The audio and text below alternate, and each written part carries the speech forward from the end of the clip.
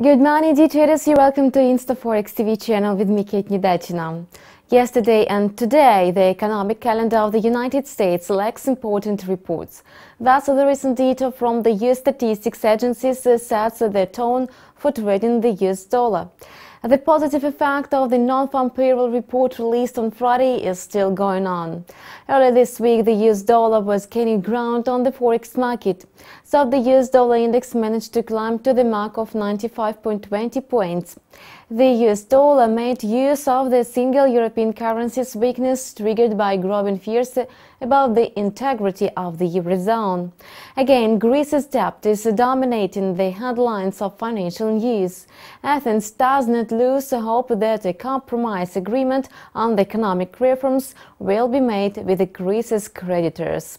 Meanwhile, experts of the International Monetary Fund are working with the national authorities in Greece's neighboring countries on a contingency plan for a Greek default.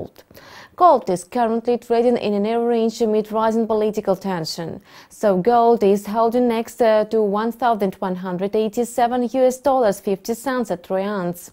Growth of gold prices is still due to speculations about timing of the key interest rate hike by the U.S. Federal Reserve. Obviously, the quiet market will not last uh, for long. At least uh, the U.S. retail sales report, which is due tomorrow, will bring back volatility to the market. It was InstaForex News and me, Kate Nidachina. See you next release.